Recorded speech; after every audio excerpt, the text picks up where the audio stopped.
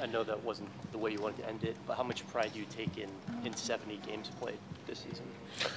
Um, that was definitely a step in the right direction. Um, looking to build on that next season, and hopefully do what I need to do so I can participate in the playoffs next year. You, we've uh, heard- everybody has kind of talked about how much growth they've seen from you, and not just on the court, because that's always been there, but just everybody's been, you know, very flattering about the person you've become. Do you feel like this is your team and this is kind of your time to continue that? Uh, I think that'd be up to my teammates and the staff, but uh, I got to give my vets a lot of props to that. Um, CJ, Larry, Cody, JV, and uh, Bi as well. Uh, those guys are pros, pros. So I was this year instead of kind of being in my own little circle, I just kind of ask questions, ask them why they do certain things, and just try to incorporate it into my own life. Zion, what'd you learn about yourself this season? Um, I learned how to like have fun with the game, like a lot of fun with it, without putting too much stress on, too much pressure on myself. Um, and I enjoyed it. Just talking about having fun while playing the game I love is is something. You finished with 40 point game. You already talked about you played the most games so far in the NBA and then you go down with the injury. How are you doing mentally given all that? Uh, when it first happened, it was super frustrating. Uh, really frustrating because, uh, you know, I just felt like I was in that zone. Um, you know, when it happened, just kind of new. That's why I looked so frustrated. But, you know, like I said, just got to build on it into next season and hopefully participate in the playoffs next year. Your teammates talked a lot about.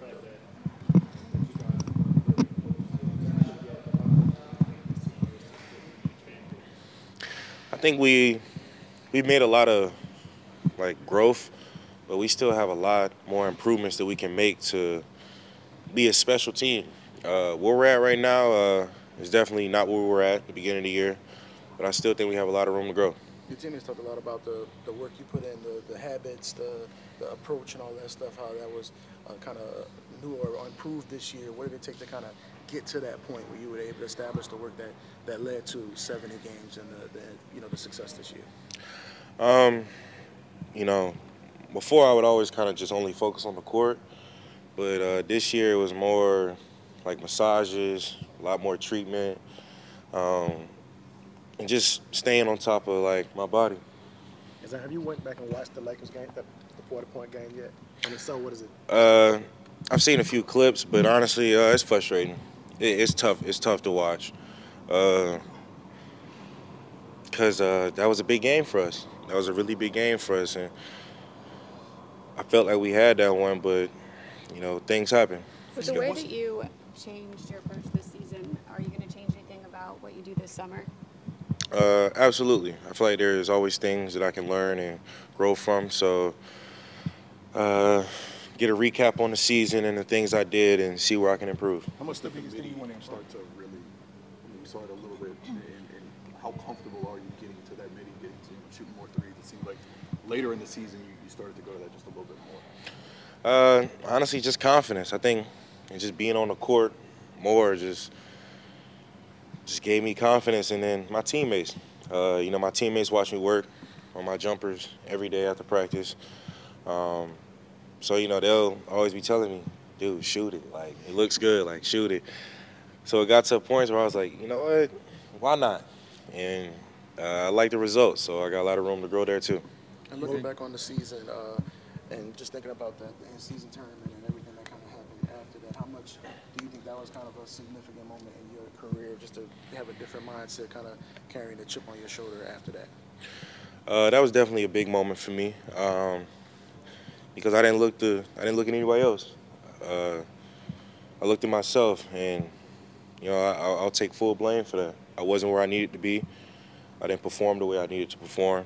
Um, but I think it was one of those things that I needed to experience because it definitely changed a lot for me during the season.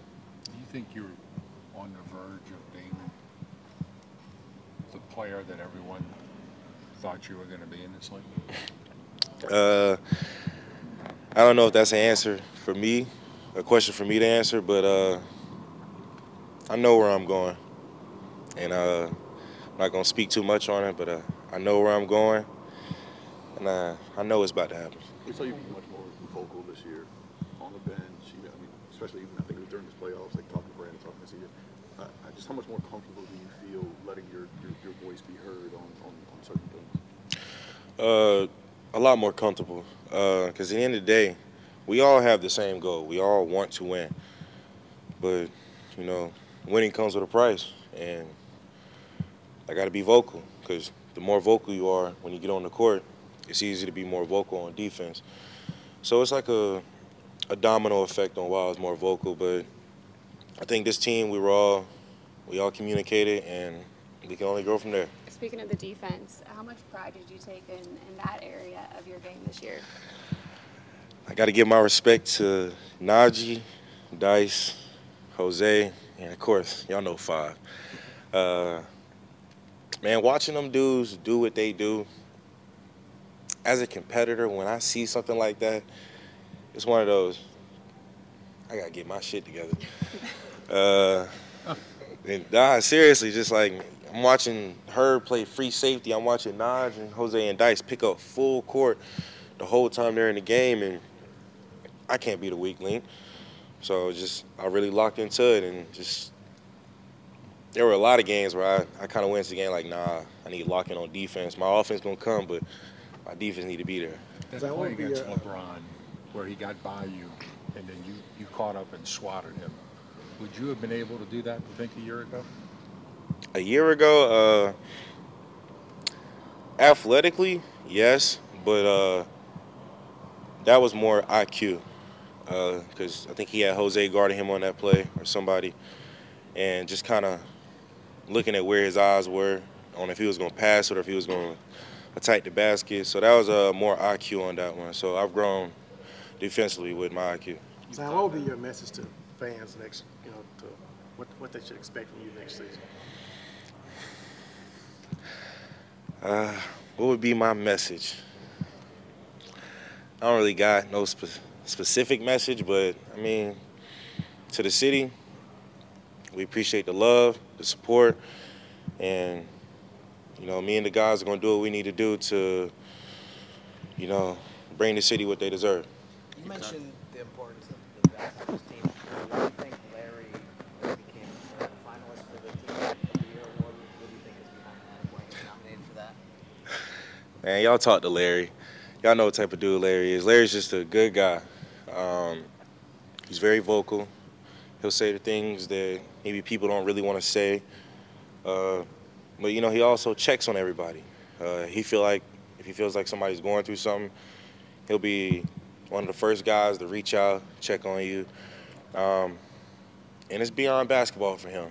I think that's what makes him such a great guy because it's beyond basketball. Do you think, I know people forget, I mean, you were 18 when you got here. And, I mean, and before that, there's obviously a lot of, you know, high-profile moments. But do you feel like, maturity-wise, professionally, like, it may have been tough at times, but the best is truly yet to come, and you are in a good spot right now, personally and professionally? I definitely do believe that the best is yet to come. Um, and yeah, I think just the more I'm in the league, uh, the more I grow. And coming into this year, the talk was, you know, CB and CJ's got to have time together. They got to play more together. And now that y'all had that time together this year, what's the key to y'all just being more effective as a trio going into next year? Uh, I mean, we figured it out a little bit, but I think my answer's kind of gonna be the same with that. The more we're on the court together, the better we are. You talk about stacking good days, and this year you focused on doing more stuff off the court as well. Just, do you think you found something from a nutrition standpoint this season that you can take with you just moving forward? Uh, absolutely, but like I said, I feel like there are always new things to learn. So get a recap of the season and start nitpicking what I could do better.